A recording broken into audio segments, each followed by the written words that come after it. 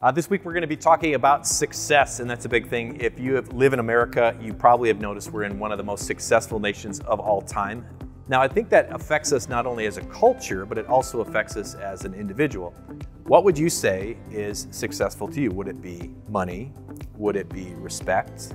Would it be a good career? Would it be being a good parent? Now, you take all of these things and you say, I don't have all these examples of what it means to be uh, a success in this world. I think you do. And I think every one of us has our own criteria of what success is. And if I would just let you write it down and go in the corner and say, what would be success to you? I think you could do it.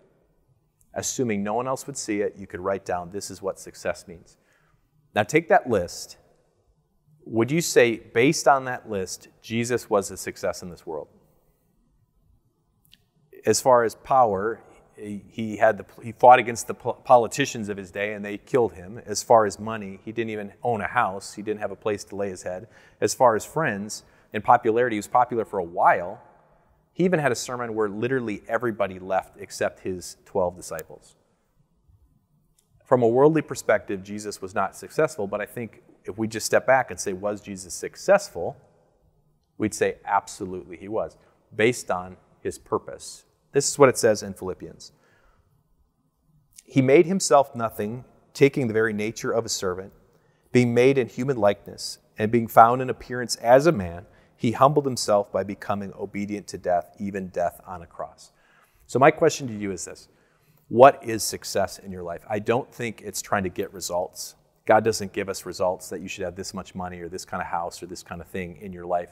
God wants us to live according to the purpose He has given us. And God has given you a purpose, and obviously, God has given Christ a purpose, which was in His omniscience, God saw a world that needed saving, a world that included you. And God says, I'm going to go do it. I'm going to go all the way to the cross, and I'm going to succeed at saving the world. That includes you. Let's pray.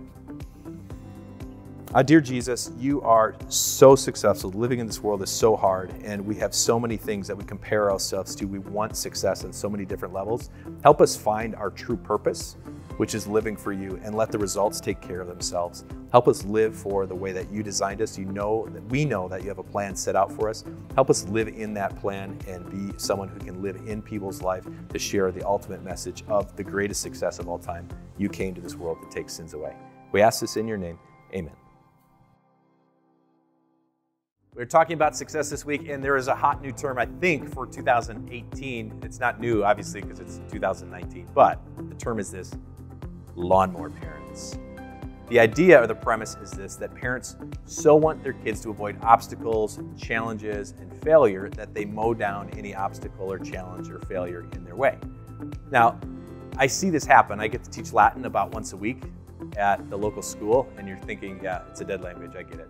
So I teach Latin once a week, but I go by a cart where parents drop off the things they forget for their students and they leave it there for them to deliver to the rest of the day. I have a nickname for that cart, and the staff actually put the name on the cart one day, and it said the cart of irresponsibility. And we all thought it was kind of funny, and I couldn't believe they actually put it on the cart because, as you can imagine, parents complained. So I'm thinking, okay, I can't do that to my kids. I have to make them responsible. I have to have them you know, accomplish things and go through difficulties. However, I feel this as a parent. New Year's Eve, just last year, I sat down with my kids and we talked through like the greatest things of the year. We talk about highs, we talk about lows, how did it make them feel? And ironically, or not ironically, because we're parents that love our kids, the lows for both Amy and I included when my kids struggled. It is hard as a parent that loves someone to see them struggle and to see them fail and to see them work through things. That was one of my top three low points for my for my life because it happened to my kids. It was the top three low points for my wife's life because of what happened to my kids. So wh- where do we get and where do we go with all this stuff? A couple things. Failure is absolutely inevitable. And you look at the life of Job, he says our life is full of trouble. And you look at what Jesus says as he sends out his disciples. If people do not welcome you, leave their towns and shake off the dust of your feet as a testimony against them. So one says, he said, you're going to go to a town and people aren't going to listen. What should you do? What is he doing? He's preparing them for failure. Failure is inevitable, even if you are a disciple of Jesus Christ. Number two, failure often leads to good things. There's someone who's really smart who said something like this Failure is on the same road as success, it's just a little bit earlier. And I think that's totally true. You can look at the greatest basketball players, how many shots they miss. You can look at how much trouble and how much Abraham Lincoln failed at elections. And for crying out loud, Clorox bleach took 409 tries to get the right cleaner. So, I mean, it takes effort to get something of substance. So, how do we help out as people that love our kids? We can't mow down all the obstacles. Instead, I think we just help them fight through failures and make sure that they don't become a failure.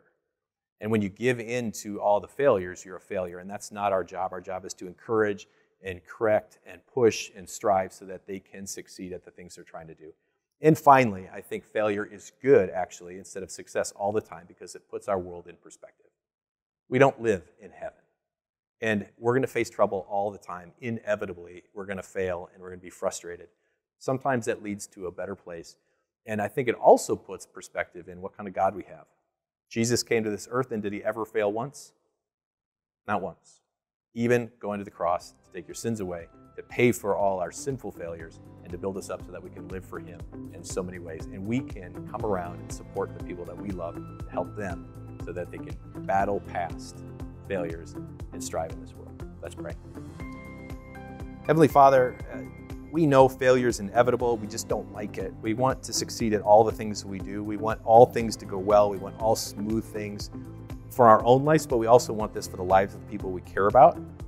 Help us step back and recognize the importance of struggle and the importance of fighting through things so that they can grow as human beings and they can grow as people and we can be people who come alongside them, not the ones who pick them up and carry them, because ultimately you're the only one who can carry us. So help, let us rest in your arms, knowing that you are always there for us. We ask this in your name. Amen. Uh, we're talking about success, and a lot of times we talk about the struggle of not succeeding, but what happens if you do? And that's what we're going to talk about today. So, success is difficult, I think, because different cultures, different families, different nations have ideas of what success really is. My definition would be simply this aligning my plan with God's plan and living my life with purpose, not just for results. So, when you say something like that, the assumption is, well, Christians must never succeed. Well, that's not true at all. I know countless Christian athletes, I know countless Christian CEOs and owners of companies, and I know people who are uh, Christian who are really, really wealthy. So, what does that mean? When I hear that people are successful and God has blessed them, in my heart, there's part of me that says, man, I wish I was at the top of my field and I wish I could buy or do those things. But most of me thinks that's got to be really, really hard. Because when you talk about what our identity is naturally, most of the time, it's what we're good at. And if God has blessed you with the ability to work, God has blessed you with the ability of sports, God has blessed you as an actor and actress, that becomes your identity. A smarter pastor than I am said it something like this. He said, When your work or your success becomes your identity instead of Christ, that means your success goes to your head and your failures go to your heart. And I can't imagine how hard it would be to struggle and not think, I'm pretty awesome. I'm pretty amazing. And the very blessings that God has given you disconnect you from the God who has given them to you. It's for this reason when we look in Deuteronomy chapter 8, this is God's warning to the people as they enter the promised land. This is a little bit longer, so stick with me. When you have eaten and are satisfied, praise the Lord your God for the good land he has given you. Be careful that you do not forget the Lord your God, failing to observe his commands, his laws, and his decrees that I'm giving you this day. Otherwise, when you eat and are satisfied, when you build fine houses and settle down, when your herds and your flocks grow large, and your silver and gold increase, and all you have is multiplied, then your heart will become proud, and you will forget the Lord your God who brought you out of Egypt. So, what's my prayer to you? You might just be in the most successful time in your life with relationships and work and school, but hold on to Christ and don't forget the Lord because no matter how God takes you and how far God takes you, He'll always be there with you. Let's pray. Heavenly Father, some of us are struggling and some of us are in a point of success. Help us in our success to always look to you, the one who has given us these blessings, and help us to live with purpose with these blessings so that we can be a person that people look up to as one who has taken blessings and not let them go to our head or not let the, the failures go to our heart. Instead, we know our identity. Our identity is strictly with you, not in our success. We ask this in your name. Amen. This week we're talking about success, and what is one tip that I would give you if you want to be successful? Well, I was reading an article about businesses in the United States. If you did not know this, 500,000, 500,000, half a million businesses open every single month. Of those, within two years, and I don't know if it's like the adrenaline or people just keep going, 66% will still be open, so 33% closed. And by the time you get to the five year point, half of them done. So I see this anecdotally as I function. Our church is downtown in Castle Rock in Colorado, and I was talking to a friend. There's a brewery that's there, and a brewery closed after less than two years. And I said, "Okay, what's what's the deal?" I never went there, and he runs a very successful brewery. And he said, "Okay, there's three things. This is my insider baseball. Three things. Number one, they're not very nice. That's pretty. That makes sense. Number two, they only made English style ales, I think it is, which is basically saying our taste should be your taste. Deal with it. That doesn't help. And three, after he gave him all this advice about decorating how to do things and what would make sense of, about design in the brewery, he didn't do any of it. I would say that's not enough courage to listen to the truth. This is how the Bible says it. The way of fools seems right to them, but the wise listen to advice. So, what do businesses have to do with us? My guess is that you're struggling with something, and I'm wondering if you have the courage to admit to someone you need help. Maybe it's struggling to be a parent and maybe it's struggling at work and you're afraid and you don't have the courage to say, I need some help here. Maybe it's struggling with alcohol or drugs and you don't have the courage to seek out some help. Maybe it's struggling in your marriage and you're not going to counselors or reading books or working together to get closer. The way of fools seems right to them, and I'm sure we have all kinds of excuses why we're not doing it, but the wise listen to advice. On a deeper level, let me ask you this. This is really what our relationship is built on with God. It's not about businesses, it's not about success, but it's saying, do you have the courage to lay bare your whole life before God and say, this is how I've lived? How does this line up with you? Because our greatest success is not how we do in the world. It's not even how we do as a parent. Our greatest success is how we line up with Christ. So we confess the things we have done, we hear God's forgiveness, and then we're empowered to live differently. And that's success. Let's pray. Heavenly Father, we just ask you one thing give us the courage to lay our life bare before you, trust in your promises, and live the way that you've called us to live. Amen.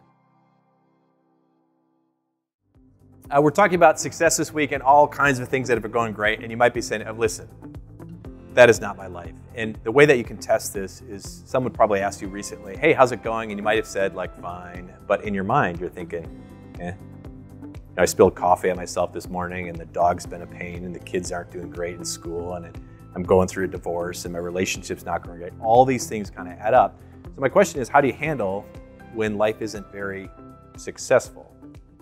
I think there's stuff we can do, to be honest. Uh, we could self medicate and we can get drunk. We could eye guzzle Netflix. We could uh, go buy some stuff because it makes me feel better. We could talk down about other people because that makes me feel better too. But here's the issue all of these solutions for our problems are just temporary, right? Eventually you sober up. Eventually you got to pay the credit card bill for the stuff you bought. Eventually people find out what you said about them. You know, all these things tumble. What if we just shifted? And instead of looking at our immediate circumstance to determine if we're doing okay right now, we step back and we look at how God looks at us. And this is how it's described in Romans chapter 8. I'm convinced that neither death nor life, neither angels nor demons, neither the present nor the future, nor any powers, and I would actually add right there, success or failure, is going to separate you from the love of Christ. So when God looks at you, He says, I don't care if you've made mistakes. He says, I don't care if you're the most successful person in the world. Those things don't matter to me. God does not have a measure. God's only measure is that through faith in Christ, He sees you as His child. Now think about that. When someone says, How's it going? I'd say it's going pretty great. Let's pray. Heavenly Father, we just simply thank you that you have made us a success through faith in Christ, not in this world's terms, but in your terms. One that says we are, uh, we are holy and we are blameless and will stand before you. We ask this in Jesus' name, who made us holy and blameless. Amen. Did you enjoy this video? Uh, if so, we would love to share even more Jesus with you, even if you have a busy, on the go kind of life. Uh, just click here and you can find the audio version for this podcast along with all the other podcasts that Time of Grace offers.